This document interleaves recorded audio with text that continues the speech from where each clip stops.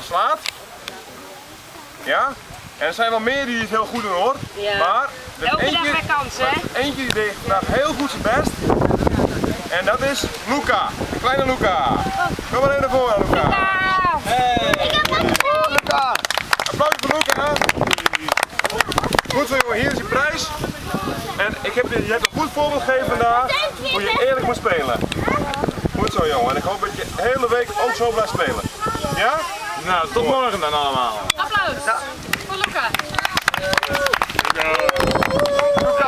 High five, Luca. Luca, tik hem aan. Kom maar. Goed zo, jongen. Dat is een mooie. Had je het verwacht? Ja, je hebt goed je best gedaan.